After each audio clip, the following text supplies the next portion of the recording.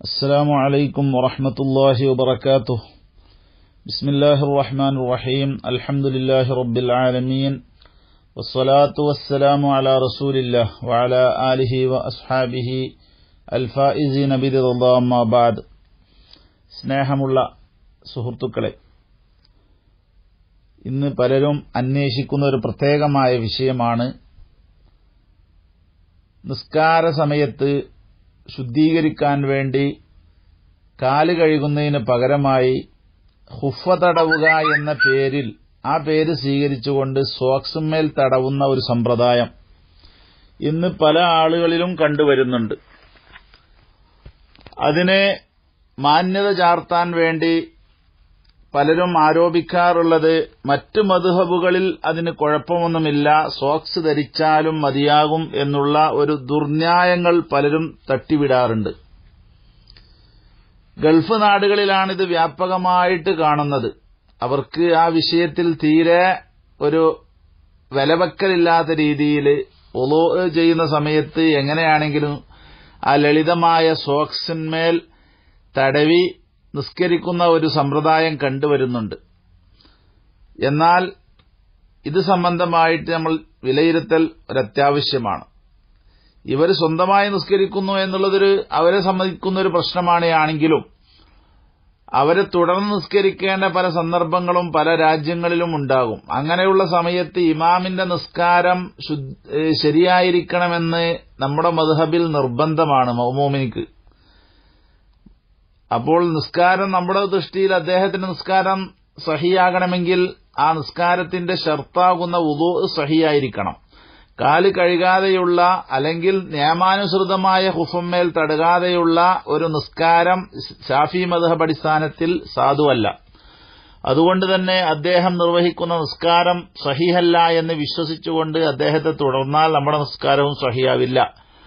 അപ്പൊ അങ്ങനെയുള്ള ചില നിർബന്ധ ഘട്ടങ്ങളില്ലേ എന്ന് ചില ആളുകൾ ചോദിക്കാറുണ്ട്. അങ്ങനെയുള്ള നിർബന്ധ ഘട്ടങ്ങളുണ്ട് എങ്കിൽ അവരെ പണ്ഡിതന്മാരെ വക്കൽ കൊണ്ടുപോയി അത് മനസ്സിലാക്കി കൊടുക്കുകയും എന്നിട്ടത് തിരുത്തിപ്പിക്കുകയും ചെയ്ത് അവരെ നല്ല രീതിയിൽ ഇബാദത്തിലേക്ക് സജീവമാക്കുകയാണ് നമ്മൾ ചെയ്യേണ്ടത്. അതിനുവേണ്ടി ഉള്ള തന്ത്രപരമായ നീക്കങ്ങൾ സ്വീകരിക്കാൻ ഓരോരുത്തരും അവരുടെ ദാവത്തിന്റെ ഹിക്മത്ത് ഉപയോഗിക്കേണ്ടതാണ്.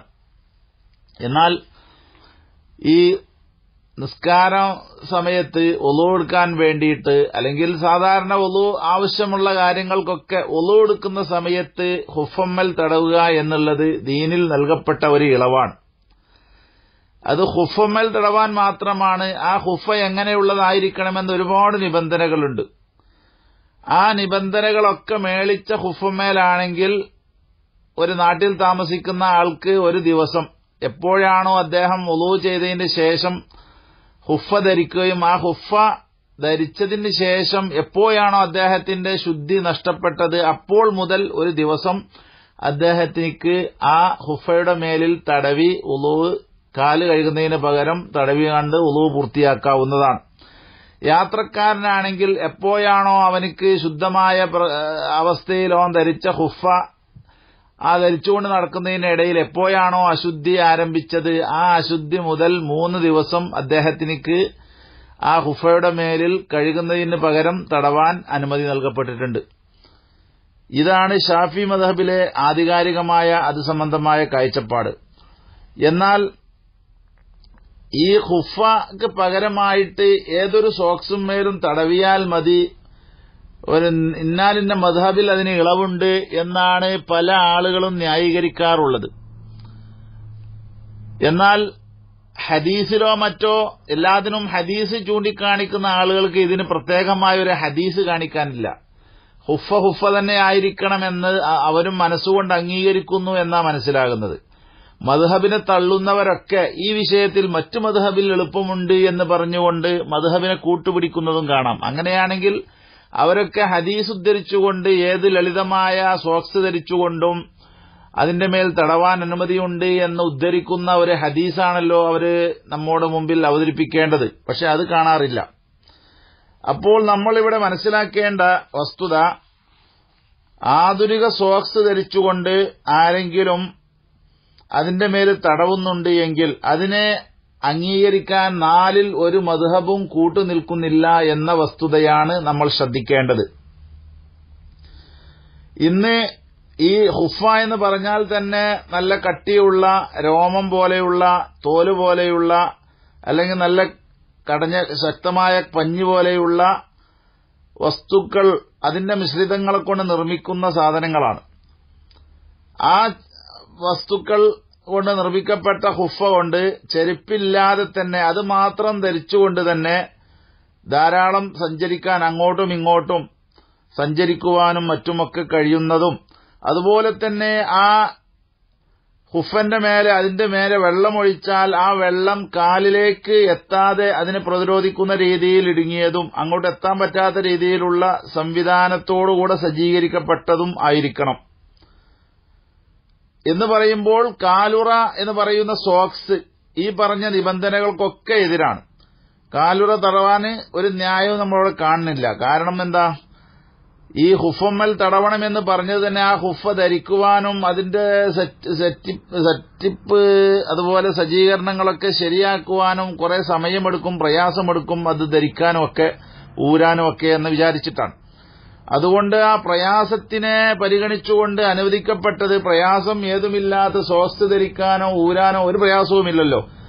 അപ്പോ ആ സോക്സ് അതിന്റെ ഗണത്തിൽ പെടുമെന്ന് ആരോപിച്ചുകൊണ്ട് ഹുഫക്ക് അനുവദിക്കപ്പെട്ടതായ ആനുകൂല്യം സോക്സിന് വിധേയമാക്കുകയും അതിനെ ബാധകമാക്കുകയും ചെയ്യുന്നത് യുക്തിവാദമായിട്ടേ നമുക്ക് മനസ്സിലാക്കാൻ കഴിയുകയുള്ളൂ. ഇങ്ങനെ സോക്സ് ധരിക്കുന്ന ആ സോക്സ് അഴിച്ചെടുക്കുന്നതിലും എല്ലാ വക്കത്തിലും ഒളു ചെയ്യുന്ന സമയത്ത് അത് ഊരിയെടുത്ത് ഒളു പൂർത്തിയാക്കുന്നതിൽ യാതൊരു ബുദ്ധിമുട്ടുമില്ല എന്ന് ഫത്താവൽ കുർദിയിൽ ഉദ്ധരിച്ചതായി നമുക്ക് കാണാൻ കഴിയും.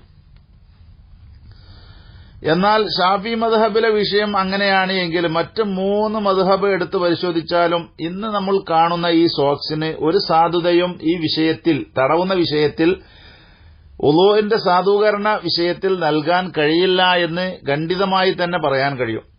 കാരണം ഹനഫി മദ്ഹബിൽ ഈ ഹുഫ ധരിച്ചാൽ ഒന്നോ അല്ലെങ്കിൽ അതിലേറെയോ ഫർസഹ് വൈദൂരം കിലോമീറ്ററുകളോളം വൈദൂരം മറ്റൊന്നും ധരിക്കാതെ തന്നെ അത് ധരിച്ചുകൊണ്ട് സഞ്ചരിക്കാൻ കഴിയണം. അപ്പോ ആ ഹുഫ കൊണ്ട് തന്നെ വേറെ ഒന്നും അതിന്റെ കൂടെ ചെരുപ്പോ ഷൂവോ ഒന്നും ധരിക്കാതെ അതുകൊണ്ട് തന്നെ ധാരാളം ദൂരം ഒരു കിലോമീറ്ററിലേറെ ഫർസഹ് കണക്കിനൊക്കെ സഞ്ചരിക്കാൻ പര്യാപ്തമായതാവണം എന്ന നിബന്ധന ഹനഫി മദ്ഹബിൽ വളരെ വ്യക്തമായിട്ടുണ്ട്. ഒരു ഫർസഹ് എന്ന് പറഞ്ഞാൽ തന്നെ മൂന്ന് മൈലാണ്. ഒരു മൈൽ എന്ന് പറഞ്ഞാൽ തന്നെ കിലോമീറ്ററിന്റെ അപ്പുറമാണ്. അപ്പൊ അതുകൊണ്ട് അത്രയും ദൂരമൊക്കെ അതുകൊണ്ട് സഞ്ചരിക്കാൻ പറ്റുന്നതാവണം. ഇന്ന് നമ്മുടെ സോക്സ് കൊണ്ട് നമ്മൾ അങ്ങനെ ഒന്നും സഞ്ചരിക്കാറില്ല. ഒരു റോഡുമൊക്കെ ഇറങ്ങാറില്ല വഴിയിലേക്ക് ഇറങ്ങാറില്ല. ഏതെങ്കിലും കാർപ്പറ്റിന്റെ മേലെ അല്ലെങ്കിൽ ടൈൽസിന്റെ മാർബിളിന്റെ ഒക്കെ മേലെ ചവിട്ടി കുറച്ച് അങ്ങോട്ടും ഇങ്ങോട്ടും ഓഫീസുകളിലും അതുപോലെ മാളുകളിലൊക്കെ നടക്കുമെന്നല്ലാതെ ഒരു പുറത്തിറങ്ങിയിട്ട് കുറച്ചധികം സഞ്ചരിക്കാൻ പറ്റുന്ന ഒരു അവസ്ഥ അതുകൊണ്ടില്ല. അതുകൊണ്ട് ഹനഫി മധബ് അടിസ്ഥാനത്തിലും പറയപ്പെട്ട നിബന്ധനകൾക്ക് ഒക്കാത്തതാണ് ഈ സോക്സി എന്നതിനാൽ അതിന്റെ മേൽ തടവാൻ യാതൊരു ന്യായവുമില്ല. കാരണം എന്താണ്? ഇങ്ങനെ ധാരാളം കുറച്ച് ദൂരം കുറച്ചധികം ദൂരം സഞ്ചരിക്കാൻ സൗകര്യപ്പെട്ടിട്ടില്ല എങ്കിൽ അത് അനഫി മധബ് അടിസ്ഥാനത്തിൽ തടവുന്നതിനും തടസ്സമാണ്. ഇനി മാലിക്കി മധബിൽ ആ ഹുഫ ധരിച്ചുകൊണ്ട് നടക്കാൻ പ്രത്യേക കാലമൊന്നും നിബന്ധനയില്ല. ഇത്ര സമയം നടക്കണം ഇത്ര കാലം നടക്കണമെന്നില്ല. പക്ഷേ അവർക്കൊരു നിബന്ധനയുണ്ട് ഹുഫ തോലിന്റേതാകണമെന്ന് തോലിന്റെ ഹുഫ ആയാലേ മാലിക്കി മധബിൽ അതിന് ഹുഫ എന്ന പരിഗണന കിട്ടുകയുള്ളൂ. അപ്പൊ തോലിന്റേത് പ്രകൃതിയെ തന്നെ ധരിച്ചു കണ്ടിപ്പോ നമ്മൾ ധരിക്കുന്ന പല ചെരുപ്പുകളും ഷൂകളും ഒക്കെ തോലിന്റേതാണല്ലോ. അപ്പൊ എന്നതുപോലെ ഉള്ള ഒരു സംവിധാനമാണ് ആ തോലിന്റെ ഹുഫയും. അപ്പൊ അതുകൊണ്ട് ധാരാളം ദൂരം സഞ്ചരിക്കാൻ പറ്റുമല്ലോ. അപ്പൊ അതുകൊണ്ട് സഞ്ചരിക്കാൻ പറ്റുന്നതാണ് അതിനോടുകൂടെ തന്നെ തോലിന്റേതാവുകയും ചെയ്യണം എന്ന നിബന്ധന മാലിക്കി മധഹബിലുണ്ട് അതുകൊണ്ട് മാലിക്കി മധഹബ് അടിസ്ഥാനത്തിലും സോക്സിമൽ തടവുക എന്നതിന് ന്യായമില്ല എന്ന് വ്യക്തമാണ്.